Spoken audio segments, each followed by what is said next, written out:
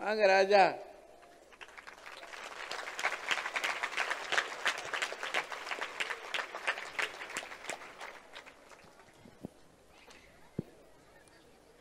பட்டிமன்ற நடுவர் தமிழறிஞர் அவர்களே இரண்டு அணிகளையும் சார்ந்த அறிஞர் பெருமக்களே சன்பீம் கல்வி குழுமத்தின் தாளாளர் செயலர் இந்த பள்ளியின் முதல்வர் ஆசிரியர் பெரியோர்கள் மற்றும் சிறப்பு விருந்தினர்களே திரளாக வருகை தந்திருக்கக்கூடிய இந்த பகுதியை சார்ந்த பெரியோர்களே பெற்றோர்களே மாணாக்கர்களே உங்கள் அத்தனை பேருக்கும் என்னுடைய அன்பான வணக்கத்தை முதலில் தெரிவித்துக் கொள்கிறேன்.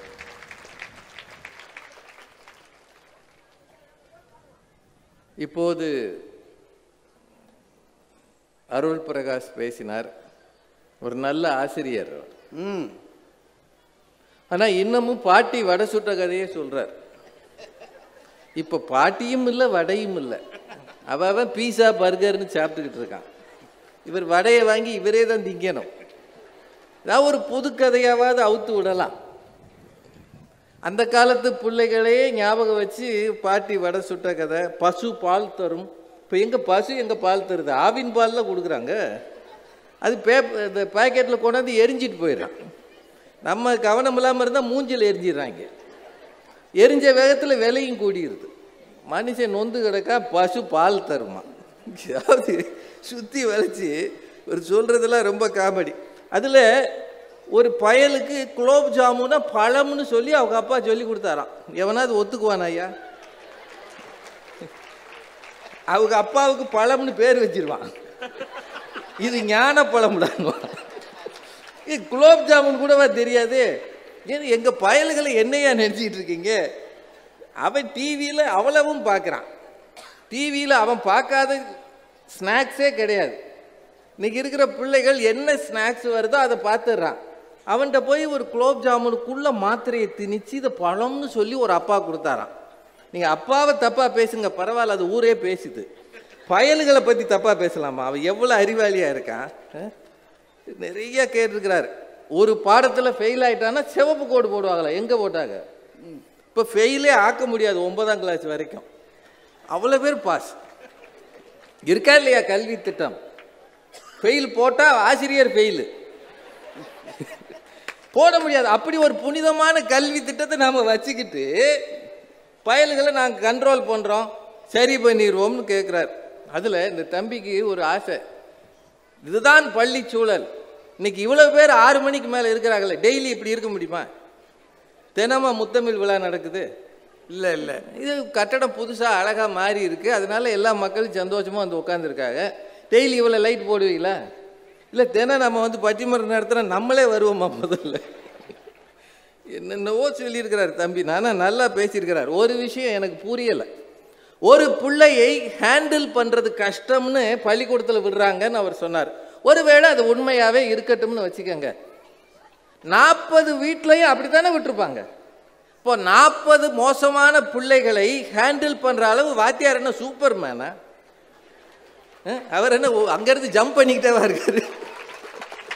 எப்படி ஒரு பிள்ளையவே ஒரு அப்பாவும் அம்மாவும் அதுவும் அப்பாவும் அம்மாவும் கண்ட்ரோல் பண்ண முடியலை. நாற்பது பிள்ளைய அதே மாதிரி இருந்தான்னா அவனை எப்படி இவர் வாத்தியார் கண்ட்ரோல் பண்ணுறாரு இதெல்லாம் சொல்லணும். அவர் இந்த முன்னாடி அங்கிட்டு இருக்கிறாரு. கண் காது மூக்கு ஏதோ இஎன்டி ஸ்பெஷலிஸ்ட் மாதிரி. அத்தனையும் பிள்ளைகளின் முன்னேற்றத்தை கவனிக்கிறது ஆசிரியருக்கு. எந்த பிள்ளைய? அவர் பிள்ளைய. அவர் எப்படி நாற்பது பிள்ளைகள் முன்னேற்றத்தை கவனிக்க முடியும்? வகுப்பில் பாடம் சொல்லி கொடுக்க முடியும். ஒரு கேள்வி கேட்குறேன். இங்கே இருக்கிற ஆசிரியர் சயின்ஸ் வாத்தியார் சயின்ஸ் மட்டும்தான் சொல்லி கொடுப்பார். தமிழ் சொல்லி கொடுப்பாரா? இல்லை கிடையாது. ஒரு காலத்தில் அப்படி இருந்தது. வகுப்பாசிரியர்னு ஒருத்தர் இருந்தார். எல்லாம் சொல்லி கொடுத்தாரு. எலிமெண்ட்ரி லெவலில் இன்னைக்கு அப்படி கிடையாது. எனக்கு பீரியட் முடிஞ்சிருச்சு நான் போயிடுவேன் அடுத்து ஒரு டீச்சர் வரும் என் பீரியட் இப்போவே முடிஞ்சிருச்சு நான் போயிடுவேன் இதானே நடக்குது? எங்களுக்கு ஏதோ ஒன்றும் தெரியாத ஆள் மாதிரி. இந்த எங்கள் அணியவே பார்த்தா உங்களுக்கு சாதாரணமாக தெரியுது. அவர் எவ்வளவு பாடம் சொல்லி கொடுத்து அவர் ஒரு விருது வாங்கியிருக்காரு. இவர் எப்படி வாங்கினார்? டெல்லியில் போய் வாங்கினாரியா யார் கையில் வாங்கினார்? அப்துல் கலாம் கையில் வாங்கினார். சும்மா என்ன விளையாடுறீங்களா? அதில் தவறு செய்தால் கண்டிக்க வேண்டிய இடத்தில் பள்ளிக்கூடம் கண்டிக்கும். யார் சொன்னது? எப்போ? பயல்களை ஏதாவது கண்டிக்க முடியுமா இன்னைக்கு? ஏற்கனவே ஊரில் நொந்து கிடக்காங்க? வாத்தியாரெல்லாம் நியூஸ் பார்க்கும்போது அலறுது. புசு புசுனோம்னா பயலுக எந்திரிச்சு சிரிக்கிறாங்க. சார் என்ன உங்களுக்கு நேரம் சரியில்லையான்றான். சார் எதுக்கு சார்? பத்திரமா வந்தோமா வீட்டுக்கு போனோமான்னு போங்க சார். யாரு? இவன். இப்போ நாங்கள் படிக்கும் போதெல்லாம் காதை பிடிச்சி முறுக்குனாருன்னா ரத்தம் வரும். அப்படி ஒரு காலம் இருந்தது. நாம தானே அதுக்கு எடுத்திருக்கோம். நாம தானே மாற்றிருக்கோம் அப்புறம் எப்படி பழிச்சூழல பிள்ளைகளை சரி பண்ண முடியும்? கண்டிக்கிறாரா கண்டிக்கிறார். கண்டிச்சு பாருங்க இவர் வாத்தியார் கிடையாது. அதனால அள்ளி விடுறாரு. ஐயா கேட்டுறாரு ஐயா நீங்க ஒருத்தரும் ஒரு பையலையும் ஒன்றும் சொல்ல முடியாது. எருமை அப்படின்னு எங்களை காலேஜில் திட்டிருக்கிறாங்க. எங்கள் வாத்தியார் ஒரு காலேஜ் வாத்தியார் டே நீ எல்லாம் கம்மாயில் எருமை மேய்க்க போடான்னாரு. இன்னைக்கு காலேஜ் வாத்தியார் அவரை மேய்க்கப்பட்டுருவான் அவர் வாசல்ல போர்டு எழுதி போட்டுருவான். எரு எருமை வருகிறதுன்னு எழுதிடுவான். என்ன இது? வீடு பிள்ளைகளை நல்லொழுக்க வழியில் திருப்ப வேண்டும். ஒன்றும் இல்லை சார். இங்கே இருக்கிறவங்க பள்ளிக்கூடத்தில் நெருக்கடிகள் இருக்கு. அவங்களால கண்டிக்க முடியாது. ஒருவேளை அந்த பையன் வீட்டுக்கு வந்து சொல்றான் என்னை வாத்தியார் வைகிறார் திட்டுறார் கோச்சிக்கிறார் அப்படின்னா அப்பாவும் அம்மாவும் சொல்லணும். நீ என்னடா தப்பு பண்ண? நாற்பது பிள்ளைகள் இருக்கும்போது உன்னைய மட்டும் ஏன் அவர் கோவிச்சுக்கிறார்? நீ ஏதோ ஒரு தப்பு பண்ணியிருக்க.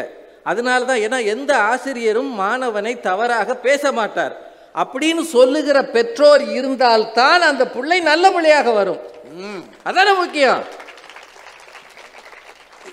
இவன் போய் அந்த மிஸ் என்னை கொட்டிக்கிட்டே இருக்கு. உடனே அவங்க அம்மா இரு வர்றேன் நான். இந்த சொர்ணக்கா மாதிரி கிளம்பிருச்சுன்னு வைங்க. பள்ளிக்கூடமா நடத்து வைக்க போலீஸ் ஸ்டேஷன் தான் வைக்கணும் அங்கிருந்து அது கிளம்பி அங்கிருந்து ஆய் எல்லாம் பிள்ளை பெற்று வளர்த்தியா? நாண்டில் பெத்தேம்மா ஓம் பிள்ளை நீதானமா பேரணும் நாண்டில் பேர் வச்சேன். இதுன்னு கவர்மெண்ட்ல இருந்தா பேர் வைப்பான். என் பிள்ளைய நீ எதுவும் சொல்லக்கூடாது. அப்புறம் எப்படி பாடம் நடத்தும்? இப்படி பெற்றோர் இருந்து விட்டால் அப்படின்னா ஒரு பள்ளியினுடைய கடமையை பாட வீட்டு பாட எழுதுறதுல மட்டும் இல்லை ஒழுக்கத்தையும் பெற்றோர் முன்னாடி நின்னாதான் பள்ளிக்கூடம் பின்னாடி வர முடியும். பெற்றோர்னா என்ன சாதாரணமா? சொல்றாரு. ஆனால் சிவகுமார் ஒரு வகையில் நல்ல தம்பி. நீங்கள் கல்லை அனுப்புகிறீர்கள். நாங்கள் அதை சிற்பமாக்குகிறோம்னா பாருங்க. எல்லா கல்லையும் சிற்பமாக்க முடியாது. சில கற்களைத்தான் சிற்பமாக்க முடியும். சில கற்களை அடித்தால் ஒளியின் வேகத்தில் உடைந்து போய்விடும். இப்போ எதை நாங்கள் அனுப்புகிறோமோ அதைத்தான் நீங்கள் சிற்பமாக ஆக்குறீங்க. இதை நீங்களே சொல்லிட்டு இன்னொரு அம்மா வேற இது அந்த அணியில் வருது. என்னத்தை சொல்ல? டெண்டுல்கர் இப்போ ஒரு புத்தகம் எழுதியிருக்கிறார். பிளேயிங் இட் மை வே அப்படின்னு அந்த புத்தகத்தோட பேர். டெண்டுல்கரை தெரியாத எந்த பிள்ளையும் இருக்காது. இந்திய விளையாட்டை கிரிக்கெட்டை உலக அரங்கிலே உயர்த்திய பெரிய ஆள். அந்த புத்தகம் வெளியான ரெண்டு நாளில் ரெண்டு லட்சம் காப்பி வித்திருக்கு. ரெண்டே நாளில் உலகம் முழுக்க. அவர் எழுத தொடங்கும் போதே எழுதுகிறார் முதல்ல மூணாவது பக்கத்துக்குள்ளேயே இருக்கு. நான் இத்தனை மாறி இருக்கிறேன் அப்படின்னா அதுக்கு காரணம் எங்கள் தந்தை. என்னுடைய அப்பா நான் விளையாட தொடங்கின காலத்தில் எனக்கு சொன்ன ஒரு விஷயம் எனக்கு நினைவுக்கு வருகிறது. அவங்க அப்பா சொன்னதை அவர் எழுதியிருக்கிறார். அந்த புத்தகத்தை வாங்கி பாருங்க. வாழ்க்கை என்பது ஒரு புத்தகம் போன்றது. அதில் பல பக்கங்கள் இருக்கின்றன. ஒவ்வொரு பக்கமும் ஒரு படிப்பினையை தரும். வாழ்க்கையில் வெற்றிகள் தருகிற மரியாதையை விட தோல்விகளும் அவமானங்களும் ஆசிரியராக இருந்து தருகிற படிப்பினை தான் மிகச்சிறந்தது. மகனே நீ ஒரு சிறந்த விளையாட்டு வீரன் என்று சொல்லி மக்கள் பேசுவதை விட நீ சிறந்த மனிதன் என்கிற பண்போடு இருப்பதைத்தான் ஒரு தகப்பனாக நான் எதிர்பார்க்கிறேன். சொன்னது ஒரு தந்தை. அவர் சொல்றார் என் வாழ்நாளில் கடைசி வரை நேர்மையாக ஒழுக்கமாக இருக்க வேண்டும் என்று நான் நம்புகிறேன் என்றால் இதற்கு விதை விதைத்தது என்னுடைய தந்தை. விளையாட்டு அப்புறம்தான். குரு அப்புறம்தான் வரார் தகப்பன் தான் முன்னாடி நிற்கிறார். இது புரிஞ்சிக்க வேண்டாமா? ம். சார் வீடு தர்ற பாதுகாப்பை பள்ளிக்கூடம் தருமா? ஒன்றும் இல்லை இப்போ உங்கள் பிள்ளைகளே லேசாக காய்ச்சி அடிக்குதுன்னு வைங்க. உடனே ஸ்கூல்லேருந்து ஃபோன் வரும். வருமா இல்லையா? என்ன சொல்கிறாங்க ப்ளீஸ் கால் யுவர் மதர் நம்ம உடனே ஒரு நம்பர் கொடுப்பாங்க. பயலுக்கா எப்போன்னு காத்திருப்பான். அங்கேருந்து உடனே வந்து என் பிள்ளைய கூட்டிகிட்டு போங்க உங்கள் பிள்ளைய. ஏன் பள்ளிக்கூடத்தில் வச்சு பார்க்குறது அது முடியாதுல்ல. பார்க்க முடியுமா? நாற்பது பிள்ளையும் பார்க்க முடியுமா? அங்கேருந்து அம்மாவும் அப்பாவும் அடித்து புரண்டு ஓடியாந்து ஒரு ஆட்டோவை பிடிச்சி கூப்பிட்டு போய் அவன் லேசாக தான் காய்ச்சலாக இருந்திருக்கோம். இன்னும் இருந்து எப்படியும் கணக்கு பறிச்சு இருந்திருக்கும் அன்னைக்கு. அதனால் அவன் கூடுதல் காய்ச்சல்னு ஒரு உதார் காட்டுவான். அடித்து விட்டுறாங்கல்ல? இன்னொரு முக்கியமான விஷயம். பையன் ஏதோ ஒரு சேட்டை பண்ணுறான்னு வச்சுப்போம் ஸ்கூலில். அப்போ உடனே என்ன சொல்கிறாங்க உங்கள் அப்பாவை கூட்டிகிட்டு வா. அப்பாவை வர சொல்லு எதுக்காக? கான்டாக்ட் சர்டிஃபிகேட் கொடுக்குறாங்களா? அவர் சொல்கிறார் அது நீங்கள் தான் கொடுக்கணும். மார்க் ஷீட்டு கூட வீட்லேயே கொடுப்பாங்க. பள்ளிக்கூடம் தான் கான்டாக்ட் சர்டிஃபிகேட் கொடுக்கணும். பள்ளிக்கூடம் தான் லேபு வச்சுருக்கோம். பள்ளிக்கூடத்தை தான் எல்லாமே இருக்கும். ஆனால் அதெல்லாம் மாற்ற முடியாதுங்க. ஒரே ஒரு செய்தி மட்டும் சொல்கிறேன் இப்போ இங்கே நிறைய பிள்ளைகள் இந்த கப்பு வாங்கினாங்க. வாங்கின பிள்ளைகள் எல்லாரையும் அவங்க அப்பா சந்தோஷமாக கைப்பிடிச்சு கூப்பிட்டு போவார். இப்போ வாங்காத பிள்ளைகளெல்லாம் அவங்க அப்பா விட்டா போயிடுறாரு. பள்ளி பாராட்டுகிறது. மகனே அவெல்லாம் கப்பு வாங்கினாரு நீ எல்லாம் எதுக்குடா பிறந்த? அப்படியா சொல்றாங்க. வாடா அவன் திருப்பி கேட்பான்ல நீங்க வாங்குனீங்களா? அவன் அவன் கேட்குறான் அவன் கேட்காட்டியும் அவன் நேருக்கு நேரம் அப்பான்னு கேட்க மாட்டான். அம்மாவை மட்டும்தான் கொஞ்சம் ஓங்கி பேசுவாங்க. அப்படியே வாடா கேஎஃப்சிக்கு போமா வேணாம் மெக்டொனால்ட்ஸ் கூட்டு போ. வேற என்னடா உனக்கு வேணும்? ஒன்றுமே வேணாம். ஏன்டா நான் கப்பே வாங்கலை? வாங்கலடா இங்கே ஒரு கப்பு ஐஸ்கிரீம் வாங்குடா. தின்னுடா. தகப்பன் தாய் தங்களை கரைத்து கொண்டு பிள்ளைகளை படிக்க வைக்கிறாங்க. தங்களை கரைத்து கொண்டு. அப்படி படிக்க வைக்கிறதுனால தான் பிள்ளைகள் வருது. அவன் ஒவ்வொரு நாளும் காலையில் இவனை எழுப்பி பள்ளிக்கூடம் அனுப்புறதுன்னு சாதாரண வேலையா? ம். சீன எல்லையில் கூட போர் புரியலாம். இவங்கள பள்ளிக்கூடம் அனுப்புறது அவ அவ படுற பாடு. வேன் வரும்போது தான் பாத்ரூமில் போய் உட்காந்துருப்பாங்க எப்போ வேன் வருதோ பாத்ரூம்குள்ள இருந்து அப்படியே அழி கதவை இறுக்கி பூட்டியிருப்பான். வாடா வந்து சேருடா நான் இருக்கட்டும் வரட்டும்னுவான். டேய் வேன்டா வேன் வரட்டும் அந்த அண்ணனை இருக்க சொல்லுன்னுவான். அந்த ஆளே சொல்லுவார் இந்த வீட்டில் தினம் இது ரோதனையாக இருக்கு. அவங்க அப்பாவும் அம்மாவும் காலில் விழுந்து கெஞ்சி அவங்கள கொண்டாந்து விட்டா நீங்கள் பாடம் சொல்லி கொடுப்பீங்க. வராத பிள்ளைகளுக்காக டீச்சர் அழுவுமா எங்கேயாவது? காலையில் ப ஒம்ப எட்டரை மணிக்கு பள்ளிக்கூடத்துக்கு ஒரு புள்ள வரலைன்னு வைங்க. ஏ ஏன் ரமேஷ் வரல?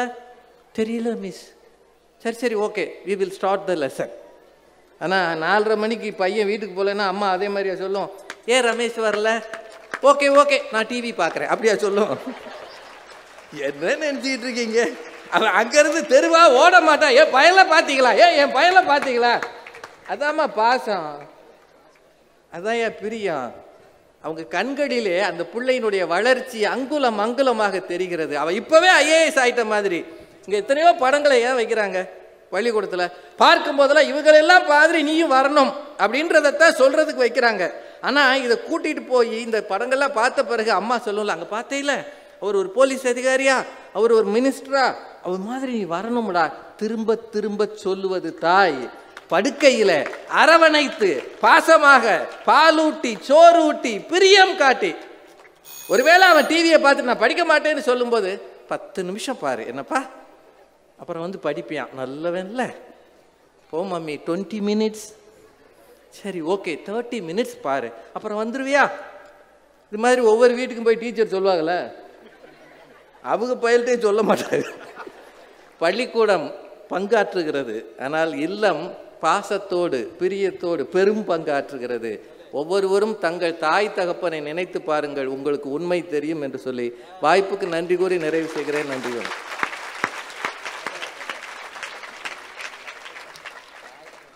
வணக்கம் தகப்பனை நினைங்க. இதில் பாரதி பாஸ்கர் என்னத்தை சொல்ல? வாங்க.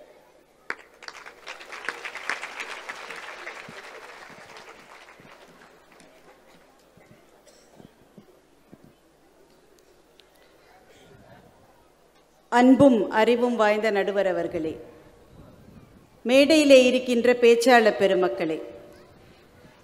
சன்பீம் பள்ளியினுடைய வணக்கத்துக்கும் மரியாதைக்கும் உரிய தாளாளர் அவர்களே. பள்ளியிலே இருக்கின்ற ஆசிரிய பெருமக்களே ஆசிரியர் அல்லாத பணியாளர்களே. இந்த பள்ளியிலே படித்து கொண்டிருக்கின்ற அன்பான மாணவ செல்வங்களே. இந்த இடத்தில் பெருந்திரளாக கூடியிருக்கின்ற இந்த பகுதியில் வாழ்கின்ற பெருமக்களே அத்தனை பேருக்கும் என்னுடைய மிக பணிவான வணக்கங்கள். நடுவர் அவர்களே எதிரணியில் பேசின திரு ராஜாவும் ஆசிரியர்களை கொஞ்சம் கம்மி பண்ணி பேசினதை பற்றி கூட நான் ரொம்ப கவலைப்படலை. இந்த அணித்தலைவர் எங்க புலவர் வந்து எப்படித்தான் அங்க போய் உட்காந்துருக்கீங்க மனசாட்சியோட? அவர் நல்லாசிரியர் விருதை அப்துல் கலாம் கையினால் வாங்கினார்னு ராஜா சார் எடுத்து கொடுத்தாரு. எதுக்கு? வீட்டுல. நல்ல அப்பாவா இருந்ததுக்கா? பள்ளியிலே நாற்பது பிள்ளைகள் அல்ல எண்பது பிள்ளைகள் அல்ல அத்தனை பிள்ளைகளையும் படிக்க வைத்து மிக தாழ்ந்த பகுதியிலே இருக்கிற பிள்ளைகளை படிப்பில் முன்னேற்றிய காரணத்தினால அவார்டு வாங்கிட்டு சிரிச்சுக்கிட்டே போட்டோவுக்கு போஸ் கொடுத்து அந்த போட்டோவை வீட்டில் வேற மாட்டி வச்சுக்கிட்டு இங்க வந்து மூணு பேர் ஆசிரியர்கள்னா உங்களுக்கு அவ்வளவு கம்மியா போச்சா? இந்த லட்சணத்துல ராஜா சாருடைய அப்பா அம்மா ரெண்டு பேரும் ஆசிரியர்கள் வேற. எகிரி எகிரி பேசுறீங்க மூணு பேரும். சச்சின் டெண்டுல்கர் என்ன சொன்னார்? எங்களுடைய அப்பா அவருடைய அப்பா சொன்னதை சொன்னார். அதே சச்சின் டெண்டுல்கர் அன்ஷ்ரேக்கர் என்ற ஆசிரியர் இல்லாவிட்டால் கிரிக்கெட்டராகவே வந்திருக்க முடியாது. தெரியுமா உங்களுக்கு? நன்றியோட நினைக்கணும் ஆ. எல்லா கற்களும் சிற்பம் ஆவதில்லை. ராஜா இப்படித்தான் திடீர் திடீர்னு தத்துவமா உதிர்க்க ஆரம்பிச்சிருக்காரு இப்பெல்லாம். முன்னாடிலாம் இப்படி செய்ய மாட்டார். சினிமாவில் நடிக்க ஆரம்பிச்சதுலேருந்து கெட்டு போனார். எல்லா கற்களும் சிற்பம் ஆவதில்லை ஆனால் அந்த கல் வீட்டிலிருந்து தான் வருகிறது. உண்மை. ஒரு கல் சிற்பமாகும் இன்னொரு கல் தூணாக மாறும் மற்றொரு கல் படியாக மாறும். சிற்பமாக கூடிய கல் எது? தூணாக வேண்டிய கல் எது என்று திறமைகளை தெரிந்து கொள்ளுகிற அந்த வல்லமை ஆசிரியனுக்கு தாயா உண்டு? ஆசிரியருக்கு தான் உண்டு. என்ன நினைச்சு பேசுறீங்க நீங்க ஆசிரியர்களை பத்தி? கிள்ளுக்கிறியா ஒரு பிள்ளை வரலன்னா ஆசிரியர் சொல்லுவார் Ramesh didn't come today okay let's go to the lesson அப்படியா? ரமேஷ் ஒரு நாள் வரலன்னா சரி உடம்பு சரியில்லைன்னு விட்டுருவாங்க அந்த டீச்சர் ரெண்டு நாள் வரலன்னா வைரல் ஃபீவராக இருக்கும்னு. ஒரு வாரம் ரமேஷ் வரலன்னா உள்ளம் பதைக்க ஃபோன் பண்ணி என்னாச்சு பையனுக்குன்னு? பள்ளியிலேருந்து ஃபோன் பண்ணுறதில்ல கேட்கறதில்ல. திரும்ப போகிற போது ஒரு பிள்ளை வீட்டுக்கு தாமதமாக போனால் தாயார் எப்படி கண்ணீர் வடிக்கிறாரோ பள்ளியினுடைய தாளாளரும் அப்படித்தான் கண்ணீர் வடிப்பார். தாய்க்கு பாசம் இருக்கிறது தாளாளருக்கு பொறுப்பு இருக்கிறது. என்ன நினைச்சிட்டு பேசிட்டு இருக்கீங்க ஆசிரியர்களை பத்தி? ஒரு சுகந்தி டீச்சரை மறந்துட்டீங்களா அவ்வளவு சீக்கிரம்? ஒரு பிள்ளை தண்ணியில விழுந்துருச்சுன்னா அம்மா போய் காப்பாத்துவா. அது இயல்பு. அதை கூட செய்யலைன்னா அவள் அம்மாவே இல்லை. தமிழ்நாட்டிலே நடந்த ஒரு பள்ளி பஸ் விபத்தில் பள்ளி பிள்ளைகளோடு போன பஸ் ஓடையில சரிஞ்சிருச்சுங்க. சுகந்தி டீச்சர் என்ற ஒற்றை பெண்மணி பன்னிரண்டு பிள்ளைகளை காப்பாற்றி விட்டு தன் உயிரை கொடுத்தார். மறந்துட்டீங்களா அத? அவருக்கு ராஜா சாருக்கு செலக்டிவ் அம்னீஷியா அவருக்கு வேணுங்கிற விஷயம் மாத்திரம் ஞாபகம் இருக்கு அவருக்கு. அது பெரிய ஆளுங்களுக்கு தானே வரும். ஆசிரியர் வந்தா பையன் சொல்லுவானா எருமை வருகிறதுன்னு. அப்படிதான் சொல்லுவான். அவன் தனக்கு எருமைன்னு பேர் வச்சிருக்கான்னு ஆசிரியருக்கும் தெரியும். ஆனா அந்த மாணவன் கூட மார்க் கம்மியா வாங்கினா கூப்பிட்டு நல்லா படிடா நல்லா வாடான்னு சொல்லுகிற தாயுள்ளம் ஆசிரியருக்கு இருக்கிறது என்றால் ஆசிரியர் சமுதாயம் எத்தனை உயரத்திலே இருக்கிறது? இங்க கப்பு வாங்கின பையனை அப்பா அம்மா நல்லா பாராட்டுவாங்க. கப்பு வாங்காத பையனை அப்பா விட்டுட்டு போயிடுவாரா? அப்பா தான் கூட்டிட்டு போவாருன்னு ராஜா சார் சொன்னார். அப்படி கூட விட்டுட்டு போகிறவங்கெல்லாம் அப்பாவா? அது பெருசல்ல. கப்பு வாங்குகிற மாணவர்களை எதற்காக ஒரு பள்ளி நிர்வாகம் மேடையில் ஏற்றி தமிழறிஞர் கையிலே கப்பு வாங்க வைக்கிறது? என்ன காரணங்க? அவருக்கு வேற வேலை இல்லையா அருகோபால் சாருக்கு? எதற்காக இவரை மதுரையிலிருந்து கூப்பிட்டு பிள்ளைகளுக்கு கப்பு கொடுக்க சொல்றாரு? கீழே உட்கார்ந்து பார்க்கிற மாணவனுக்கு அடுத்த வருஷம் சாலமன் பாப்பியா சார் இங்க வர்ற போது அவர் கையிலிருந்து நான் கப்பு வாங்கணும்ன்ற உந்துதலை பள்ளிதான் கொடுக்கும்.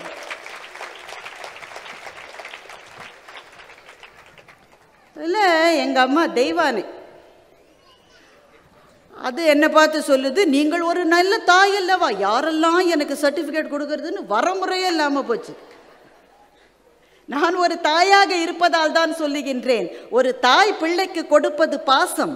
ஆனால் அந்த பிள்ளையை பற்றிய சரியான அசஸ்மெண்ட் அதை ஆசிரியரால் மாத்திரம்தான் கொடுக்க முடியும் என்பதை திரும்ப திரும்ப ஒரு தாயாக நான் உணர்ந்து கொண்டே இருக்கிறேன்.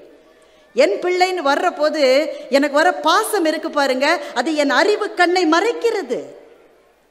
என் குழந்தை மார்க் கம்மியா வாங்கினா நான் உடனே என்ன சொல்றேன்? அந்த டீச்சர் கை வழங்காம போக அவ தலையில இடி விழ அவன் நாசமாக போக. ஒரு நாள் என் பிள்ளை அழுதுகிட்டே வந்து சொல்கிறான் அம்மா என்ன மிஸ் திட்டாம்மா இதோ கிளம்புற. ராஜா சார் சொல்கிறார் சொர்ணக்கா மாதிரி கிளம்பி வராங்க இன்னைக்கு அம்மாக்கள். இது ஒவ்வொரு ஆசிரியரும் சந்தித்து கொண்டிருக்கிற பிரச்சனை. இன்னைக்கு இன்னைக்கு இல்லை நேத்திக்கு கோடம்பாக்கத்தில் ஒரு பள்ளியில் ஒரு பையன் கிளாஸில் விசில் அடிச்சான். ஒரு பிடி டீச்சர் என்ன பண்ணார்? எப்படிடா விசில் அடிக்கிற? அடிக்கக்கூடாது இல்லையா? பள்ளியில் ஒரு டிசிப்ளின் இல்லையா? அப்படின்னு அந்த பையன் கன்னத்தில் ஒரு அடி வச்சிருக்காரு. இல்லை தலையில் ஒரு கொட்டு கொட்டிருக்காரு அடிக்கலை. தலையில் ஒரு கொட்டு வச்சுருக்காரு. அந்த பையன் ஸ்கூலுக்கு செல்ஃபோன் எடுத்துகிட்டு வந்திருக்கான். அந்த செல்ஃபோனை வச்சு அப்பாவுக்கு ஃபோன் பண்ணி என்னை தலையில் கொட்டிட்டாரு டீச்சர்னு கம்ப்ளைண்ட் பண்ணியிருக்கான் அந்த அப்பா என்ன பண்ணியிருப்பாருன்னு நீங்கள் நினைக்கிறீங்க? ஐம்பது அடியாட்களை பள்ளிக்கு அனுப்பிச்சு அந்த பிடி டீச்சரை அடி அடின்னு அடிச்சு இன்றைக்கி அவர் ஹாஸ்பிட்டலில் இருக்கார் அந்த டீச்சர் ஆனால் நீங்கள் யோசிச்சு பாருங்களேன். அந்த பிடி டீச்சருக்கு உடம்பு குணமாகி திரும்பி வந்துட்டாருன்னு வைங்களேன்.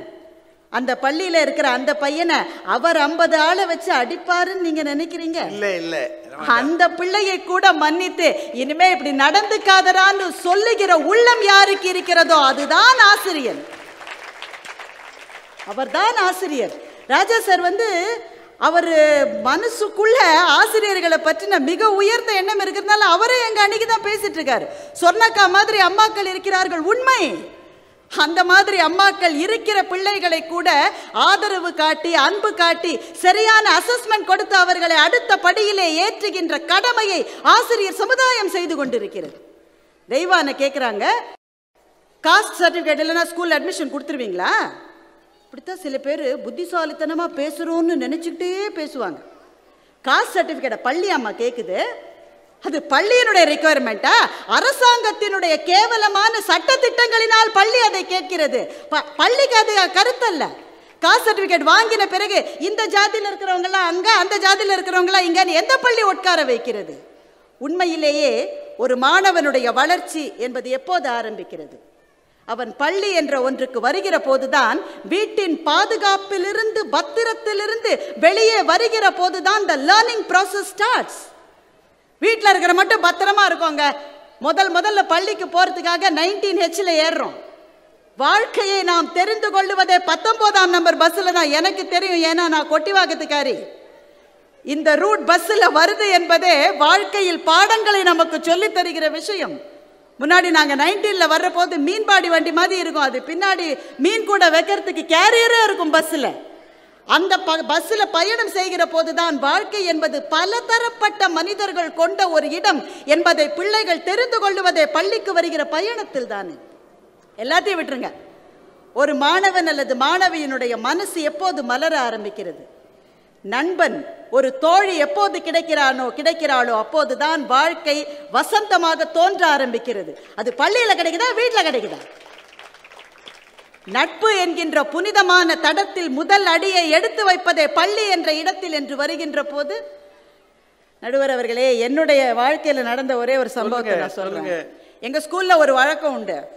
ஒவ்வொரு மண்டேவும் ஒரு பிள்ளைய கூப்பிட்டு அசெம்பிளியில் பேச வைப்பாங்க. நான் ஐந்தாம் வகுப்பு படிக்கிற போது எங்களுடைய தமிழ் ஆசிரியை என்னை கூப்பிட்டு அடுத்த மண்டே நீ தான் பேசுகிறேன்னு சொன்னாங்க. நான் எல்லாம் எழுதி மனப்பாடெல்லாம் பண்ணி முதல் லைன் வந்து என் பெயர் பாரதி நான் ஐந்தாம் வகுப்பு ஆ பிரிவில் படிக்கிறேன். அதான் ஃபர்ஸ்ட் லைன் இந்த மாதிரி முதல் முதல்ல என்னை ஒரு மேடையில் ஏற்றினாங்க ஒரு மைக்கை கொடுத்தாங்க. என் பெயர். என் பெயர். என் பெயர். என் பேரே எனக்கு ஞாபகம் இல்லை. கீழே இருக்கிற என் ஃப்ரெண்ட்ஸ் அத்தனை பேர் ஏன் உன் பேர் பாரதிடி ஏன் உன் பேர் பாரதிடி எல்லாருக்கும் என் பேர் தெரியுது எனக்கு மாத்திரம் என் பேர் தெரியல. அன்னைக்கு எங்கள் ஹெட்மிஸ்டர் சொன்னாங்க இந்த பொண்ணை இறக்க அடுத்த பொண்ணை ஏற்றுன்னு சொல்லிட்டாங்க. இன்னைக்கு நான் அவமானப்பட்டு ஒரு முடிவு எடுத்தேன். இனிமேல் வாழ்க்கையில் நான் மேடையில் பேசவே மாட்டேன் என்று ஒரு முடிவை எடுத்தேன். அதுக்கு அடுத்த மண்டேவும் எங்கள் தமிழாசிரியர் நீ தான் பேசுகிறேன்னு சொன்னாங்க. மிஸ் என் வாழ்க்கையோட விளையாடாதீங்க மிஸ் நீங்கள் எனக்கு மாத்திர சக்தி இருந்தால் அந்த டீச்சரை நான் ஆள் வச்சு தூக்கியிருப்பேன் இன்னைக்கு என்னால் முடியாது மிஸ். நம்புங்க. எப்போ நீ தான் என்று அந்த ஆசிரியர் சொன்னார். ரெண்டாவது வாரம். முதல்ல என்ன நான் மறக்கவே இல்லை. மூணாவதுல என்ன தான் மறந்தேன். அப்பவும் கீழே இறக்கி விடப்பட்டேன். நான் எங்கே போனாலும் பள்ளியிலே இவதாண்டி ஸ்டேஜ்லேருந்து இறங்கினவ இவதாண்டி ஸ்டேஜ்லேருந்து அவமானப்பட்டேன். மூன்றாவது வாரமும் என்னை பேச சொன்னார் எங்கள் தமிழாசிரியர். என்னை ஏன் இப்படி டார்ச்சர் பண்ணுறாங்க இந்த டீச்சர்? தவித்தேன் அழுதேன். ஏழு வாரம் என்னை பேச வைத்தார். ஏழாவது வாரத்தில் நான் பேசுகிற போது எப்படி பேசுவதுன்ற ஒரு டெக்னிக் எனக்கு புரிஞ்சு போச்சு. பேச்சாளன் என்பவன் எதையும் மறக்காமல் பேசுகிறவன் அல்ல. மறந்து போனாலும் நாம மறந்தது ஆடியன்ஸுக்கு தெரியாத மாதிரி நடிப்பதுதான் பேச்சுக்கலை என்பதை ஏழாவது முறை நான் தெரிந்து கொண்டேன். அந்த டீச்சர் என்னை ஏன் தொடர்ந்து மேடை ஏற்றினார்? என்ன காரணம்? அவருக்கு ஏதோ ஒன்று தெரிந்திருக்கிறது. இந்த பெண்ணுக்குள் ஒரு பேச்சாளர் இருக்கிறார் என்று என் அப்பாவுக்கும் அம்மாவுக்கும் என் மீது மிகப்பெரிய பிரம்மாண்டமான பாசம் கொண்ட பெற்றோர்களுக்கு கூட தெரியாத ஒரு விஷயம் அந்த ஆசிரியருக்கு தெரிந்தது. இவளால் பேச முடியும் என்று. வாழ்க்கை எவ்வளவு விசித்திரமானது பாருங்கள். அந்த ஆசிரியர் எங்கே இருக்கிறார் என்று எனக்கு தெரியாது. அவர் உயிரோடு இருக்கிறாரா என்பது கூட எனக்கு தெரியாது. ஆனால் இன்று நானும் பேச்சாளராக ஐயாவின் நிழலில் நின்று பேசுகிற தகுதி எனக்கு வந்திருக்கிறது என்றால் அதற்கு விதை போட்டவர் ஒரு ஆசிரியர் தான். தெய்வானை பேசுகிற போது சொன்னார் தாமஸ் ஆல்வா எடிசன் பள்ளியிலிருந்து வெளியேற்றப்பட்டார் உண்மை. அதை எப்படி பார்க்கணும்னா ஒரு தாமஸ் ஆல்வா எடிசன் பள்ளியிலிருந்து வெளியேற்றப்பட்டவர். அதுக்காக பள்ளியிலிருந்து வெளியேற்றப்பட்டவர்கள் எல்லாருமே தாமஸ் ஆல்வா எடிசனாக மாறிவிட முடியாது தெய்வானை. எங்கள் அலுவலகத்தில் ஒரு ஒர்க் ஷாப் நடந்தது. அதில் நாங்கள் நாலஞ்சு பேர் இருந்தோம். எங்களை ஒவ்வொருத்தரையும் ப்ளீஸ் இன்ட்ரடியூஸ் யுவர் செல்ஃப் என்று சொன்னார்கள். நாங்கள் ஒவ்வொருத்தரும் நீள நீள நீள நீளமாக பேசணும். நான் தான் இந்திர நான் தான் சந்திரன். எங்கள் அப்பா யார் தெரியுமா? எங்கள் தாத்தா யார் தெரியுமா? எங்கள் பரம்பரை எப்படி தெரியுமா? என்று எங்களை நாங்களே ரொம்ப ஜாஸ்தியாக சொல்லிக்கிட்டோம். அங்கே படித்தோம் இந்த படித்தோம் இந்த வேலையெல்லாம் செஞ்சுருக்கோம். ஐந்தாவதாக பேசிய ஒருவர் எழுந்தார். அவர் தன்னை பற்றி ஒரே ஒரு வார்த்தை தான் சொன்னார். I am from Harvard business school thank you அந்த ஒரு வார்த்தை போரும். பள்ளிகள் கல்லூரிகள் எவ்வளவு சிறந்தவை என்றால் இந்த பள்ளியிலிருந்து வருகிறோம் என்ற ஒற்றை வார்த்தை போரும் ஒரு மாணவனுடைய தகுதியை சொல்லுவதற்கு வளர்ந்து வருகிற இந்த பள்ளியில் நாளைக்கு நீங்கள் எதிர்காலத்தில் பிரம்மாண்டமான இடங்களை பெறுகிற போது பொது மேடைகளில் உங்களை பற்றி சொல்லச் சொன்னால் உங்கள் அப்பா யார் அம்மா யார் என்று சொல்லுவது அவர்களுக்கு நீங்கள் மரியாதை செய்கிற விஷயமாக இருக்கும். ஆனால் நீங்கள் நான் சன்பி மாணவன் அல்லது மாணவி என்று சொன்னால் கூட்டம் கைத்தட்டுமே அதுதான் ஒரு பள்ளிக்கு இருக்கிற மரியாதை. அதுதான் ஒரு பள்ளிக்கு இருக்கிற சிறப்பு. வீடு பத்திரமான இடம். உங்கள் பள்ளியில் எழுதி போட்டிருக்கிறீர்கள். Life doesn't give any security it gives only challenges என்று. ஆனால் வீடு திரும்ப திரும்ப உங்களை பத்திரப்படுத்தி கொண்டே இருக்கிறது. உங்களுக்கான சவால்களை பள்ளிதான் கொடுத்து கொண்டிருக்கிறது. இன்றைய வீட்டினுடைய சூழல் பிள்ளைகள் படிப்பதற்கு தகுதியானதாக இல்லை என்பதை வருத்தத்தோடு இந்த மேடையில் நான் பதிவு செய்கிறேன். இருபத்தி நாலு மணி நேரமும் ஒலித்து கொண்டே இருக்கிற டிவி டிவியை நிறுத்தவே முடியாது நம்ம வீட்டில் ஏதாவது ஒரு சீரியலை யாராவது ஒருத்தர் வீட்டில் பார்த்துக்கிட்டே இருப்பாங்க. நாதஸ்வரம் பார்க்கலன்னா வீட்டில் இருக்கிற பெரியவங்களுக்கு ஹார்ட் அட்டாக் வந்துடுது இப்போ. பிள்ளைகள் வேறு வழி இல்லாமல் அத்தனை சீரியலையும் பார்க்கிறார்கள். பார்த்து பார்த்து அவர்கள் மனசிலே பதிவது என்ன தெரியுமா? பழிவாங்காம விடமாட்டேன் என்ற ஒற்றை சொல் தான் அவர்களுடைய மனசிலே பதிகிறதே தவிர மன்னிப்பு என்கின்ற பெரும் கருணையை பள்ளிதான் அவர்களுக்கு கற்றுத்தர முடியுமே தவிர இனிமேல் வீடுகள் கற்றுத்தர முடியாது. பிள்ளைகள் செல்போன் கேட்டால் உடனே நம்ம வாங்கித்தரோம் என்ன காரணம்? வேறு வழி இல்லை நமக்கு. ஆனால் பள்ளி இங்கே ஒரு போர்டு வைக்க முடியும். If you bring cellphones it will be confiscated என்று இந்த பள்ளியில் எழுதி வைத்திருக்கிறார்கள். எந்த காரணம் கொண்டும் திருப்பி தர மாட்டோம். இந்த கண்டிப்பை இனிமேல் நாம் வீடுகளில் சொல்ல முடியாது. அதை பள்ளிகள் தான் தர முடியும். பள்ளிகள் தான் கொடுக்க முடியும். ஆசிரியர்கள் என்பவர்கள் பிள்ளைகளினுடைய மாசை நீக்குகிறவர்கள் மாத்திரம் அல்ல இன்றைய உலகத்தோடு தொடர்புடையவர்கள். அப்பா அம்மாவுக்கு வயசாக வயசாக இன்றைய உலகத்திலிருந்து விலகி கொண்டே போகிறார்கள். இந்த உலகத்தில் போட்டி போட பிள்ளைகளை தயாரிக்க அவர்களுடைய அன்பு மாத்திரம் போதாது. ஆசிரியர்கள் இந்த உலகத்தோடு தொடர்பு கொண்டு இன்றைய கரண்ட் அஃபேர்ஸில் அவங்க பிள்ளைகளை தேற்றினால்தான் பிள்ளைகள் நாளைக்கு நன்கு வர முடியும் என்று சொன்னால் வாழ்நாள் முழுவதும் ஆசிரியராகவே இருந்திருக்கிற எங்களுடைய நடுவர் ஐயா. வேறு விதமாக தீர்ப்பு கொடுப்பாரா என்ன? நன்றி வணக்கம்.